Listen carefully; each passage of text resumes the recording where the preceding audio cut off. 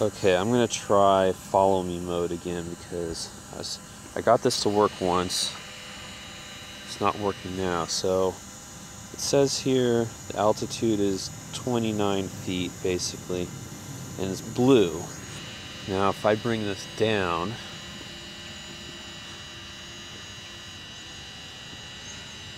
see now I'm at 15 feet and it says it's red. If I go up a little bit, still red. Just now it turns blue. Now I'd think that that tells me that I can turn, I can start flying in follow me mode. So let's give this a try. Hit apply. But now it says fly within goes away to fly within the altitude of 10 to 20 meters. Well, 10 meters is 30 feet. But this is showing blue here. And it was red earlier. So that tells me that I need to that I should be okay, but the other message says I need to be higher up. So let's go up to 30 feet.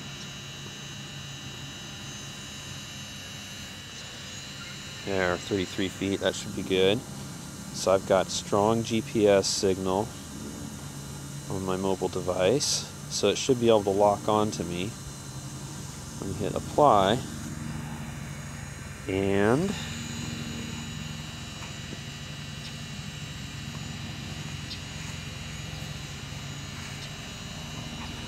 I'm moving over to the side.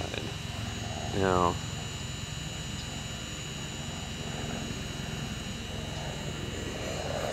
there's nothing there. It's not responding. Let's go back over here. So, one of the things that I did before, and I thought got this to turn on, was this enable multiple flight mode.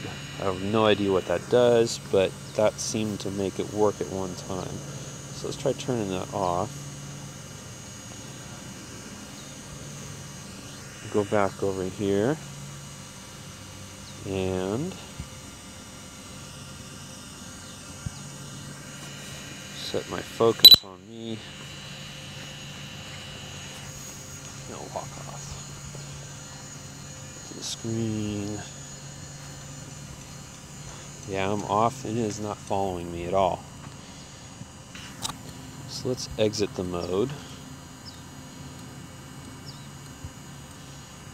And let's go back into that mode again. Follow me. Okay. Apply.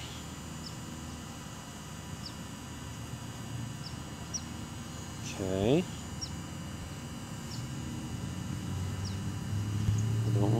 Exit. Okay, so what happens if I just turn?